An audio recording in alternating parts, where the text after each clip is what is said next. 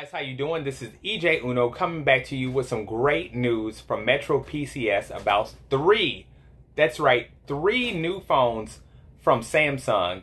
Amazing that Samsung has brung out these phones. Why am I saying amazing? Because it is a word to my madness when I say amazing that they came out with three phones because they're three amazing, great phones.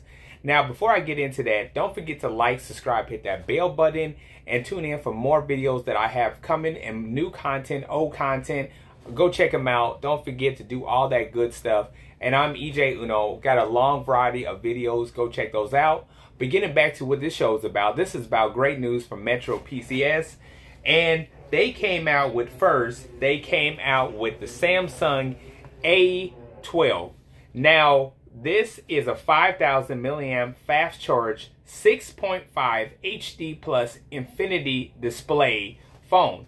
Now they have the V notch, which I am not a big fan of phones anymore. I used to be like for a split moment, but uh yeah, that got kind of old. So um I'm but I'm not a big fan of that. The phone's still great. It's still amazing. And uh it comes with a main quad of uh 16 megapixels 5 megapixel, 2 megapixels, and 2 depth camera on it. That's right, it has four four cameras on the back and they have one on the front. I am not sure on what the pixel is in on that front camera. But it does have a 6.5 HD Infinity V display, like I said. It has 32 gigabytes of storage. I'm expecting that it has 4 gigabytes of RAM. It comes with a MediaTek uh, Helio 535 octa-core and a 5000 milliamp battery. Metro PCS is talking about um, watching it from an angle because I'm guessing it is a 20 by 9 ratio phone. It looks like it actually is. And uh, the camera on the bump of the back looks like a like kind of like a little iPhone type of uh, a little iPhone type of layout um, actually kind of just like that. It has the LED flash at the bottom of it. Looks like it is. I'm looking at these as I'm talking. And um, when you, it comes with 32 internal storage, but you'll only be able to use 19 gigabytes after it does its software and you know puts everything inside there. So uh, you can. It does. It, it does have up to one terabyte of extended storage, so it does support SD uh, support. It has Android 10, not Android 11, so I don't know if it's going to be upgradable to it. And uh, that's really all I got so far on this phone. And uh, let's move to the next phone that they have, which is now, the more I keep on going up about these phones, the more better that they get with these phones right here. So, yeah, like I said, Samsung released, not, I'm sorry, three amazing phones, like I said. I, I, I want to make sure I said that. So going to the next one that they have is the Samsung A32 5G. Now, speaking of that, it comes with it does have 5G. So you are going to be on some great network and getting great service with it. Now, this phone gets a little bit better as I keep going up. These phones get a little bit better than the next. Now, Samsung A32 5G says it all right there. It has five, it's 5G co compatible. It has 5,000 milliamp battery and it has a 48 quad core quad system megapixel camera on the back of it. Now this layout from the from the 30 from the 12 is different when it comes to the 32. The camera layout is going straight down and having one little camera to the side of it as you can see in the picture. And this has um a six a, a 6.5 HD TFT display on it and I have checked it out in the store. It does have a great a great view angle, but like I said, I am not a big fan of the V notch. But maybe you are, and maybe you might like that.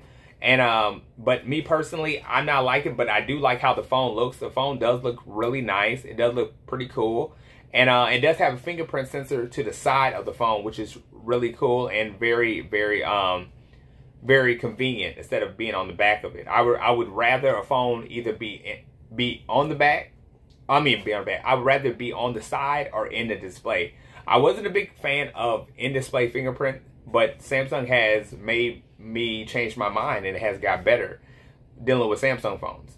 So, um, this now this phone, like I said, I didn't say about the A12, but the A12 is free when you port in your number from a different carrier. This phone is $29 when you port in from a different carrier. Just wanted to put that out there, let you guys know about that. Uh, getting onto it, it does have 64 gigabytes of storage in it. It does support SD card, and I believe it has again four gigabytes of RAM. This is not telling me everything it does have. Uh, it's saying on the camera you do have an awesome five times zoom in, so that's that's really cool.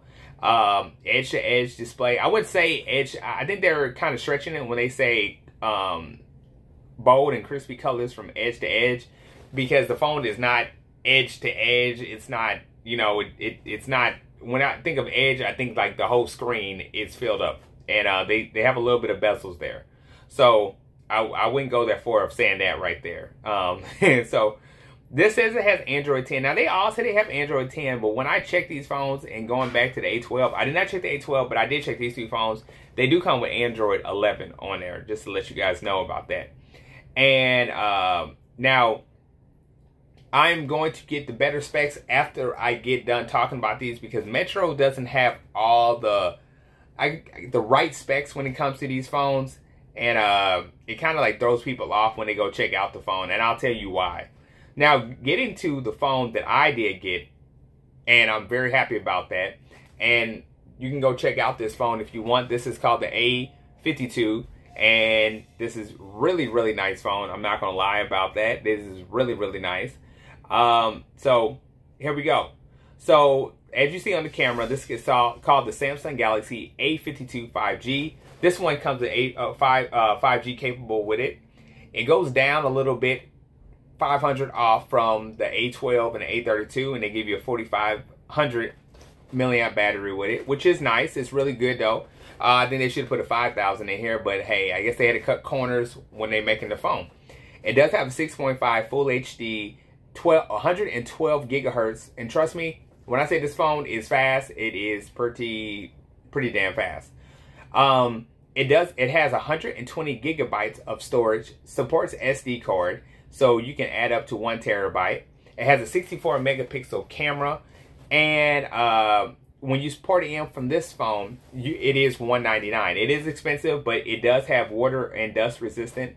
It does. It is IP68 or it says IP67, which is IP68, and you can have it in the water for 30 30 minutes and um, get it on from it. It does have a 20 by 9 ratio. It does have NFC. And let's see what else we got on here. Um, it, it Now, this one says it too. Now, what I said, I'm about to check my extra sources on the phone.